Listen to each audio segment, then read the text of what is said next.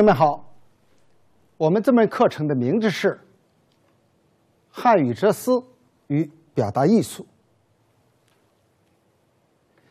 我们每一个人在心中呀，都有一种非常淳朴而且非常真挚的情感，那就是敬爱之心。你比如说，我们爱父母。爱家乡，爱我们的民族，当然也包括热爱我们自己的母语汉语。我们在中学时候啊，都学过法国作家都德的最后一课，那里边浸润的一种非常美好的情感，就是。爱自己的民族语言，里边说呀，法语是世界上最美丽的语言，最明白，最准确。人同此心，心同此理。所以说呀，这篇小说能够在我们心底深处引发起强烈的共鸣。海德格尔说：“语言是存在之家，母语是我们的精神家园。民族的哲学思维方式和民族语言是相吻合的，而且这种哲学思维方式啊，能够通过语言形式。”得到明晰的反应，所以说我们现在学习我们的汉语，嗯，运用语言进行很好的表达，可以张扬我们的民族自信心和自豪感，提高民族素质，提升呢精神文明建设。所以说，我们的课程的目的也非常明确：认识我们汉语的历史文化传统，欣赏前线实验实践中的语言艺术范例，在朴素的思想感情基础上，增添理性认识。希望对我们的语言运用提供有益的启示。好，我们今天是第一讲，以意通言的丰厚美。这个课程的名字“以意通言”是特点，丰厚美是在这个特点基础上的很好发挥所体现出来的语言运用魅力。好，我们首先讲第一个大问题：言不尽意的蕴含。这个大问题说的是以意通言的它的由来。要知道什么是以意通言。首先，我们得追溯到最早的言意之变。我们过去的啊有关知识会知道，魏晋时期啊有一次讨论，就是言意之变。其实啊，这次讨论应该追溯到先秦时期。为什么呀？其实，在先秦时期，主子白家、儒家、道家、名家，甚至法家等等，都讨论过。哎，语言和意义之间是不是能够达到很好的匹配？语言能够很好的表达思想意义。是不是这样的呢？我们现在也可以思考一下这个问题。我们都觉得语言肯定是表达思想的呀，难道这方面还有什么问题吗？其实事情并不是像我们想象的这么简单。好，我首先问大家一个问题啊，大家都看过《西游记》，我的问题是：孙悟空的第一个师傅住在哪儿？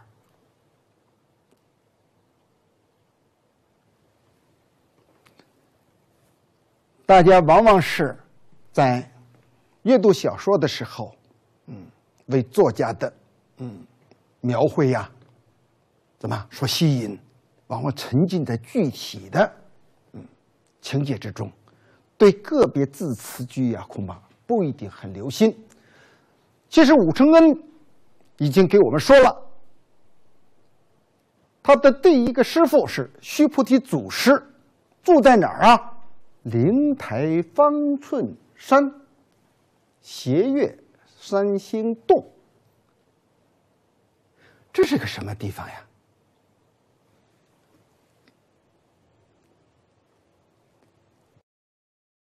我们往往想的是命名，嗯，月顶苏城。但是约定俗成呀，还往往能够追溯到一定东西。其实我们看啊，灵台，鲁迅先生啊，在他的诗句里边。这样说：“灵台无际，讨神识。”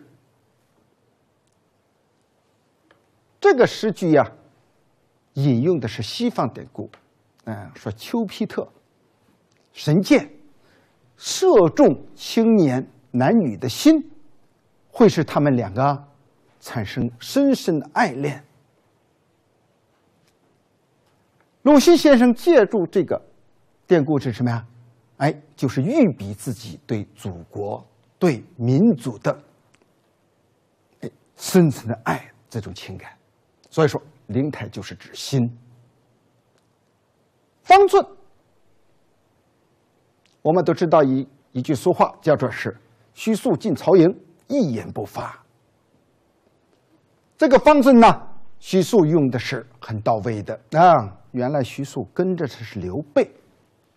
后来呢，曹操扣押了他的母亲，他是一个大孝子，这样的话他就不能够再跟着刘备南下，所以说给刘备说呀：“臣方寸已乱，心已经乱了。”再看斜月三星洞是什么啊？斜月三星洞。还是心，这下我们就明白了，须菩提祖师住在哪儿啊？住在你我心中。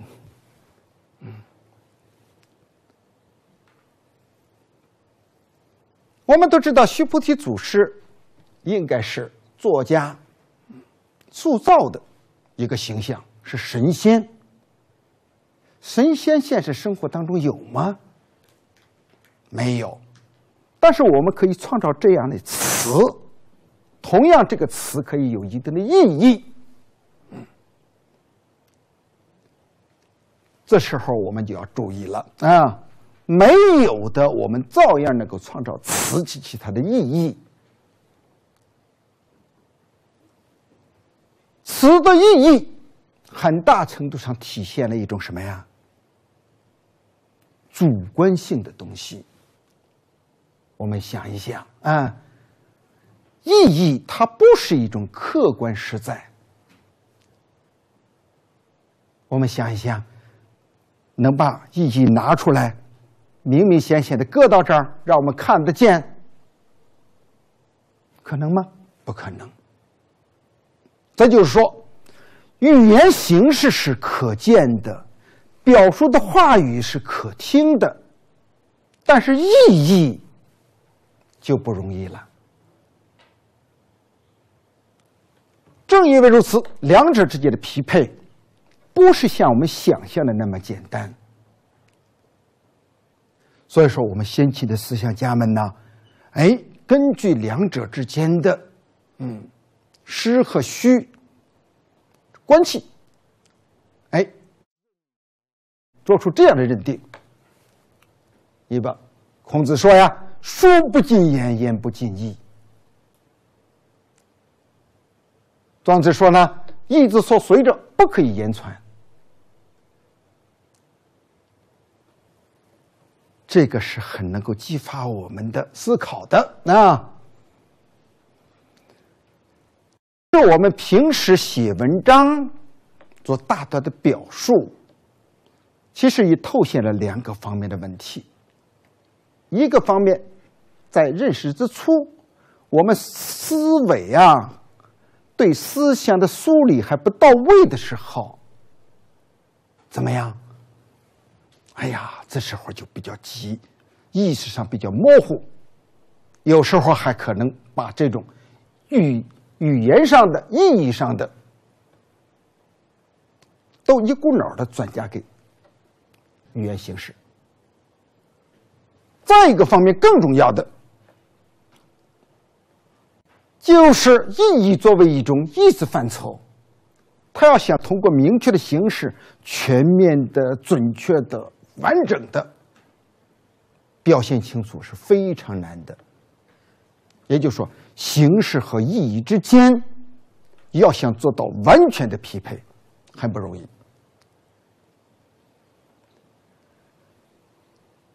其实啊，这个古人老早都给我们做出了这方面的解释。唐太宗李世民在《大唐三藏》。《圣教序》里边，请这样表述说：“象先可争，虽愚不惑；行迁莫睹，虽智犹迷。”我们想一想，是不是这个道理啊？嗯。如果是表达意义的东西，真是可见的，那谁都容易啊。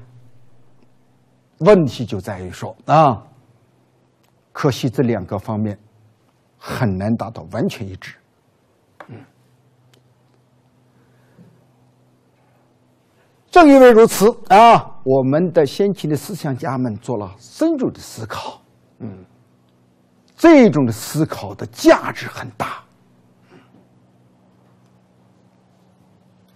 怎么说呀？因为我们平时的。行为活动，你比如说，我们做一件事儿，目的是什么？哎，我们光想着，你比如说，用锄头种田打粮食，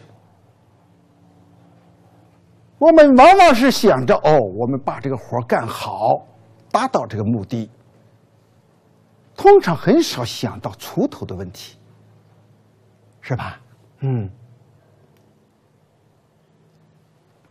但是呢，我们的思想家们就像孔老夫子表述那样，嗯，工欲善其事，必先利其器。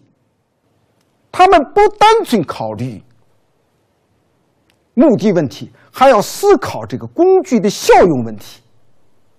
这个就很深刻了。与此相对呀，西方对这个话题就。没有思考或很少思考，为什么这样说呢？你们看圣经里边就说，语言与上帝同在，因为上帝创造人类。从这种判断上讲，我们就知道语言还先于人类。这一点其实说明了一种语言崇拜的观念，自然对语言形式就崇拜了，还可能对他怀疑吗？所以说，一直到了近代，黑格尔才对这个问题啊，哎有所思考。嗯，黑格尔说：“我们只能够吃樱桃、吃梨子，不能吃水果。”这个是不是一般意义上的啊？要注意，我们平时不是一说吃点水果。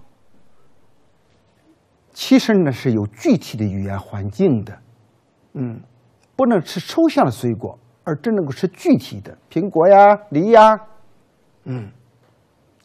所以说，脱离了这个具体的语言环境，这个水果的所指啊就不明确了。正因为这样啊，黑格尔说，语言只表达普遍的东西。我们都知道，语言有抽象性，哎，而我们平时呢，光想追求具体的个别的东西。他的结论是，不能用语言表达我们的思想。这就跟我们古人的思考相吻合，但是。这在时间上已经晚了两千多年，由此可以想象到我们古人思考的多深刻。正因为如此，马克思呀，对我们哎早期的思想文化，哎，给了很多的肯定性评价，包括哎还有其他的思想方法的。显示，你比如辩证思想，马克思就曾说啊，哎，中国的传统文化是早熟的孩子，这里边就寄予了赞赏之意。好，接下来我们第二个大问题，啊，以义通言的张扬，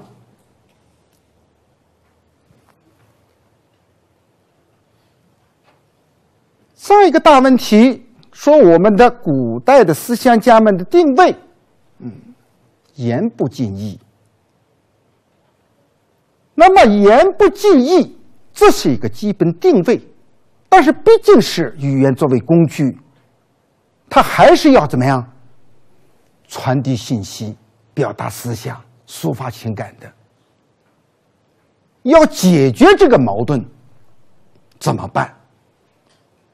而且这个矛盾呢，不解决的话，我们很多现象是不能够是解释的。怎么说呀？你不是庄子，他说是得意忘权，得意忘言。哎呀，只要抓住意义，这个语言就不要了。但是与此同时，我们都知道，庄子写的文章多漂亮啊！光畅流利，文采飞扬。我们传统文化历代一将也都是以言不尽意为主导的。你们刘禹锡的啊，“长恨言语浅，不及人意深。”一直到曹雪芹的《红楼梦》里边，他通过具体人物的口来说。这可意会，不可言传；这可神通而不能语达。像曹雪芹那样的有文学造诣，百炼钢化为绕指柔，就那他也深深的感觉到语言方面的局限性。但话又说回来，你看呢，我们。的典籍文献那么多，记录着我们历史文化的厚重。唐诗宋词、元曲明清小说，又在语言的艺术方面达到了很高的造诣。那么这两个方面应该怎么解释啊？对，其实啊。庄子说到了，尽管他认为语言有局限性，意义是重要的，把握了意义就能解决难题。你们说，嗯，用语言表现的呀，物之出也；意之所随者，物之精也。意道。这样时才把握起来，相对就好多了。所以说呢，最终是以义通言，关键是啊，我们可以看到以义为主，以义通言，以神色行。那么具体来说，以意通言。具体的操作方法表现在下面。第一个，纳言敏行，这是一个最基本的定位。首先要搞清楚语言和行为之间的关系。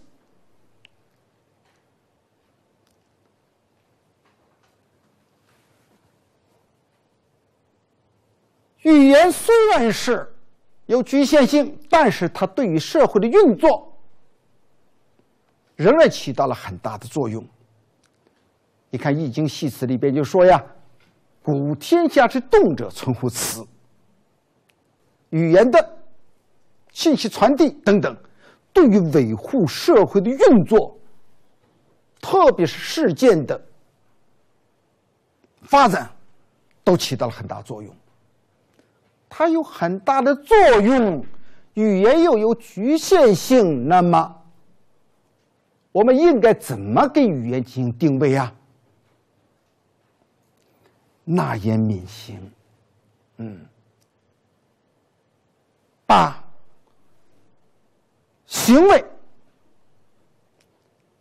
看作是最重要的，而语言应该是为人的实际的社会运作服务。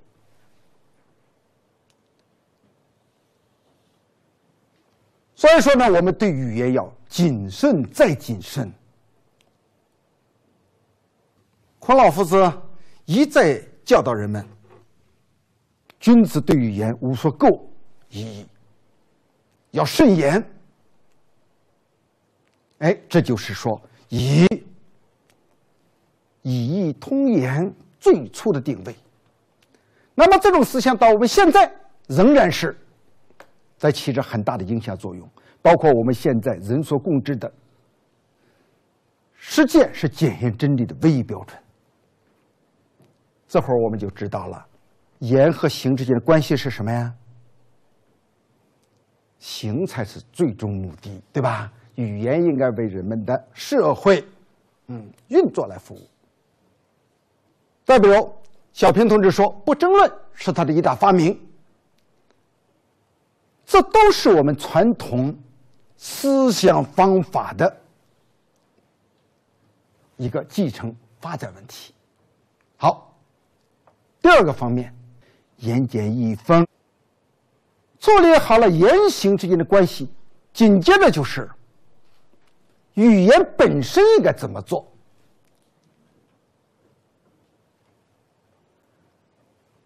易经里边啊，系辞开宗明义，就首先解释自己这个为什么叫做易，做出的定位就是易者易简，易者易明，易简则天下治理得以。其实这个道理，我们现在说话作文也强调是什么呀？言简意丰，言简意赅，字为其少，意为其多。其实都是这种思想的什么呀？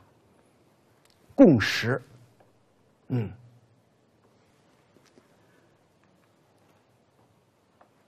那么自此呀，我们就可以把以义通言的内涵。在明确的做以认定。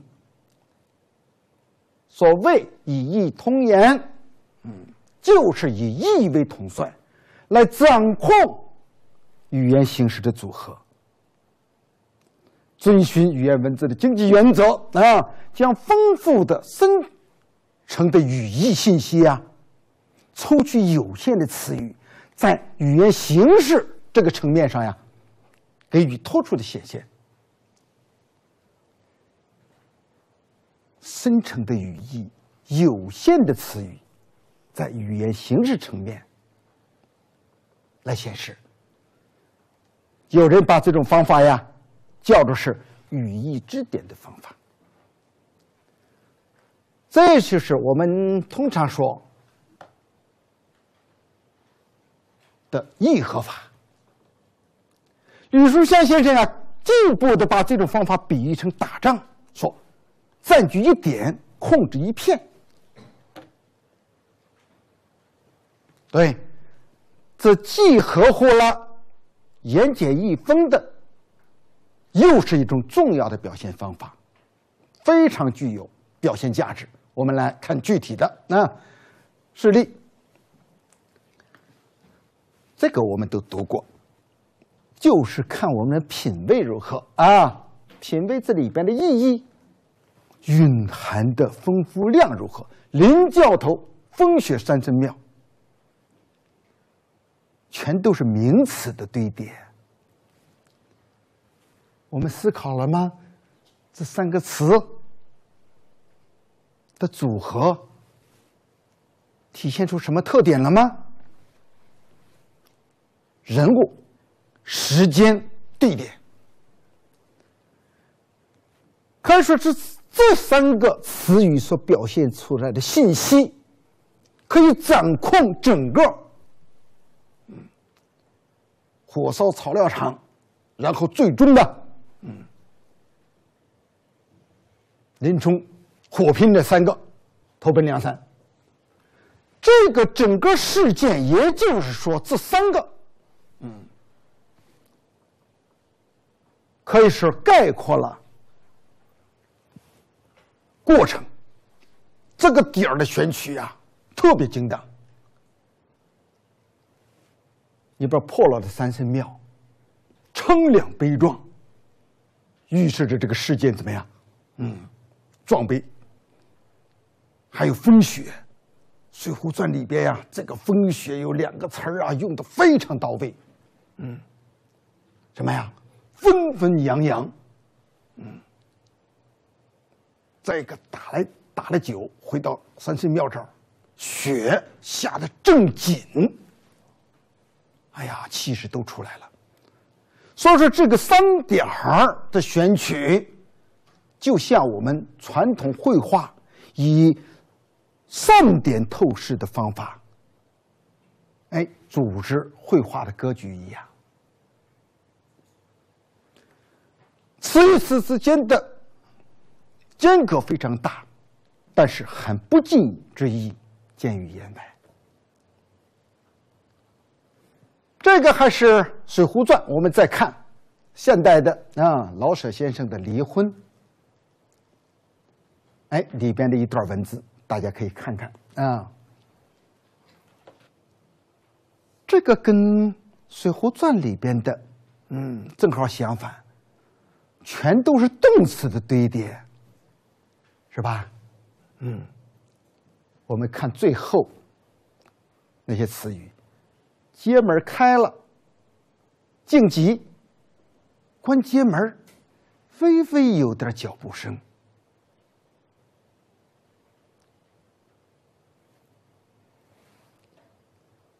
你看几个字儿，一句几个字儿一句，就像我们看电影一样，蒙太奇的切换。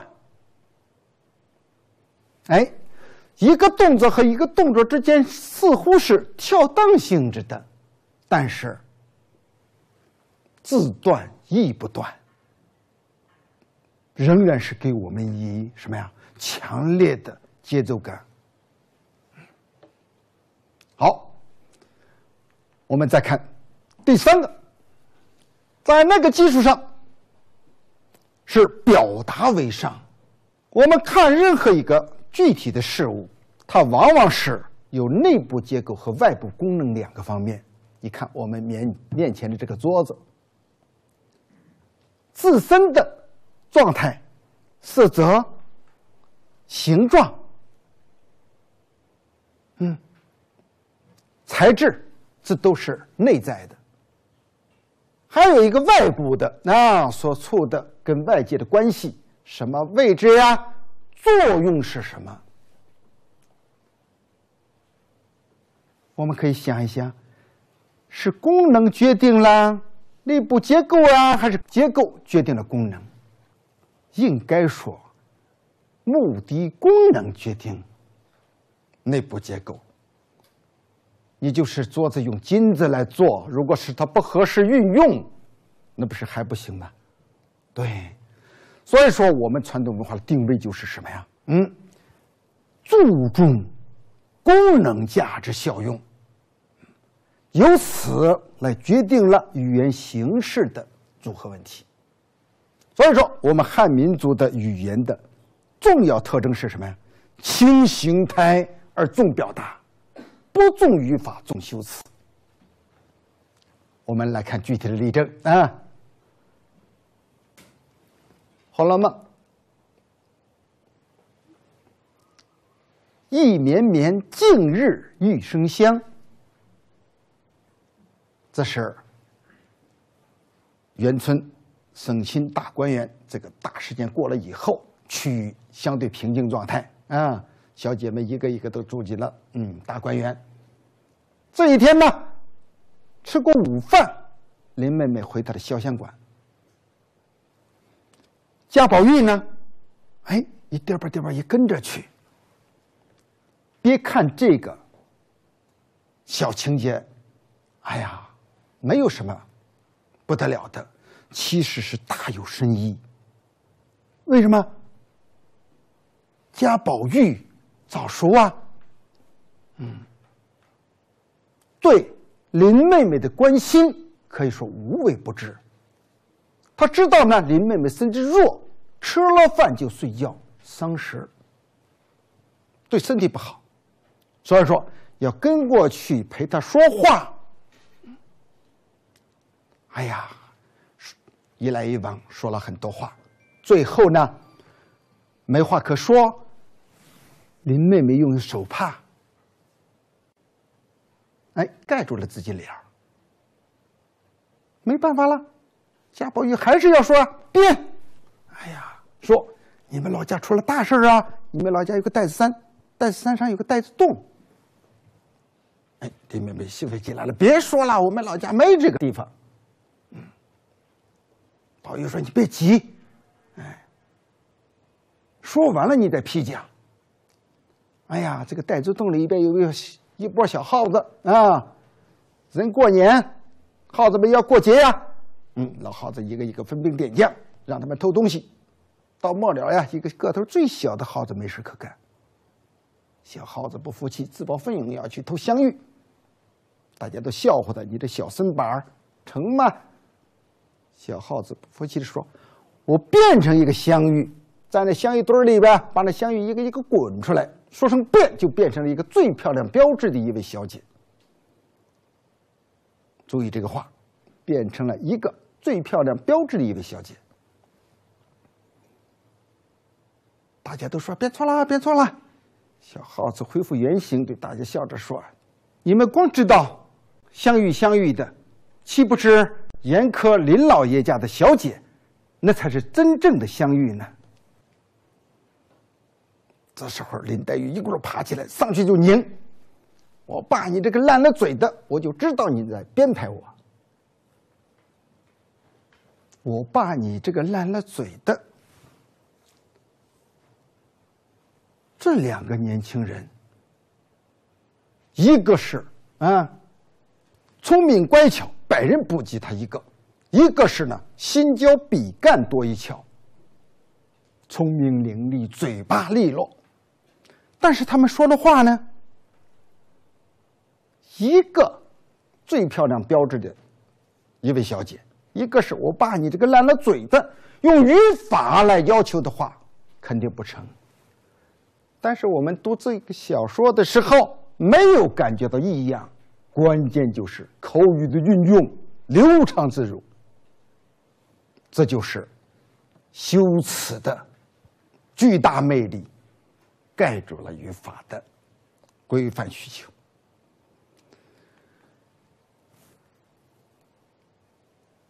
第四个，追求审美。我们的古人呢，对修辞这方面的追求啊，是非常下功夫的。我们都知道，语言或者行为，要么求真，要么求美。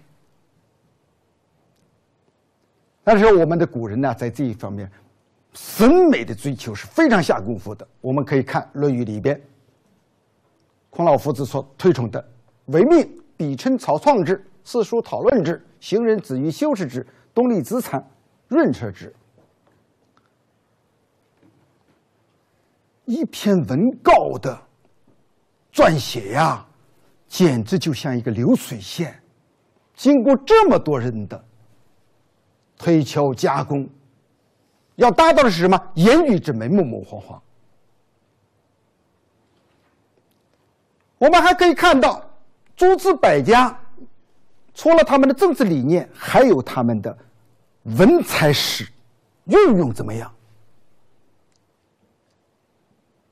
文采运用的好，影响力显而易见，就很突出。儒家主张文质彬彬，所以说风格是庄严沉雄；道家，嗯，庄子说他就是多用什么语言，重言之也。所以说他的文章篇章是什么呀？汪洋之势，仪态万千。墨家主张是先治后文，把文放到了次要位置，所以说为后人所诟病。我们再看到现今，我们最审美的追求，你把毛泽东关于纠正党内的错误思想里边说，宣传群众、组织群众、武装群众。宣传群众，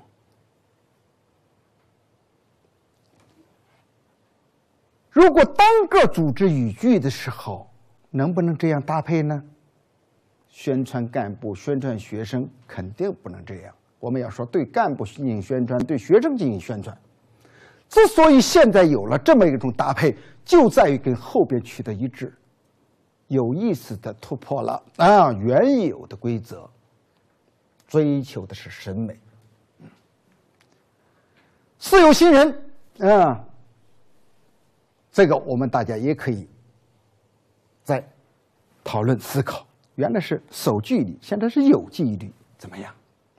最后，我们来个小结啊，言不尽意，这是我们传统文化里边的一个主导地位的思想观念。而以义通言，充分体现了一种文化方面的追求，在实际应用当中呀，也确确实实表现出了巨大的艺术魅力，这是我们要继承的啊。再一个呢，我们还要注意的就是，不要是，哎，把重义轻言走向极致，完全追求审美，不要求真。也会造成一定的什么呀负效应？同城派吴路人所表述的啊，玉器桑洁，物宁是真，这一点为了修辞的追求，把真实的东西也有所损伤，恐怕是需要我们注意的。好，这一讲就到这儿，谢谢大家。